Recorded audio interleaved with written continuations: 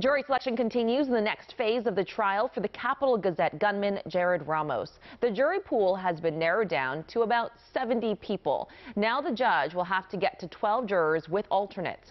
Ramos already pleaded guilty to the shooting nearly three years ago. This phase determines if he's criminally responsible. That is Maryland's version of the insanity defense.